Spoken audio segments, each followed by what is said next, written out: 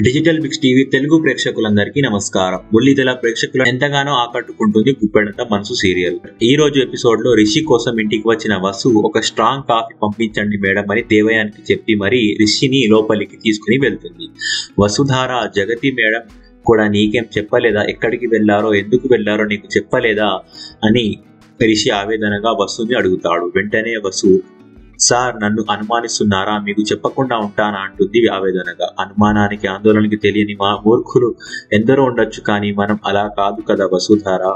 మన బంధానికి గుర్తుగా మన మధ్య దాపరికలు ఉండద్దు అని చెప్పానంతే అంటూ ఆవేదనగా మాట్లాడుతూ ఉంటారు. సార్ నేను మీ నీడని సార్ మీ అడుగులో అడుగుని జీవితంలో మీతో ప్రయాణం చేయాల్సిన దాన్ని నన్ను అవమానించడం ఏంటి సార్? అంటుంది వసు. అంతా వింటున్న దేవయాన్ని చాటుకు నిలబడి ఈ వసుధార మామూలుది కాదు. ఇంత తెలివి ఉన్నదాన్ని రిషి జీవితంలో ఉండనివ్వకూడదు అని ఫిక్స్ అవుతుంది.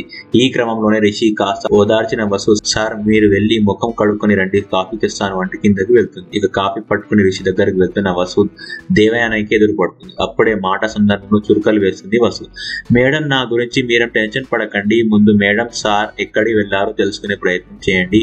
వాళ్ళు వచ్చేదాకా నేను ఇదే ఇంట్లో ఉంటాను. ఇక్కడి నుంచి కథలను మీరు నా గురించి ఆలోచించడం మానేసి వాళ్ళని వెతికే పనులు పడండి అంటూ తెగేసి చెప్తుంది. బిత్తరపోతుంది దేవయాని.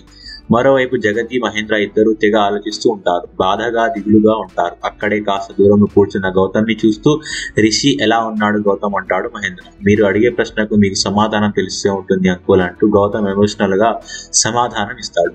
తప్పదు గౌతమ్. ఈ అజ్ఞాతం కొంతకాలం తప్పదు. వాళ్ళు కలవాలి మా కారణంగా దూరం కాకూడదు అంటాడు మహేంద్ర. మొత్తానికి మహేంద్ర జగతిలు ఎక్కడికో దూరంగా వెళ్ళిపోలేదని గౌతమ్ సమక్షంలోనే క్షేమంగా ఉన్నారని ప్రేక్షకులకు అర్థమైంది. మరిన్ని వివరాలను తర్వాయి భాగంలో చూద్దాం. ఈ వీడియో మీకు నచ్చినట్లయితే లైక్ చేయండి షేర్ చేయండి. మరియు మా ఛానల్ డిజిటల్ టీవీ తెలుగుని సబ్స్క్రైబ్ చేయడం మర్చిపోకండి.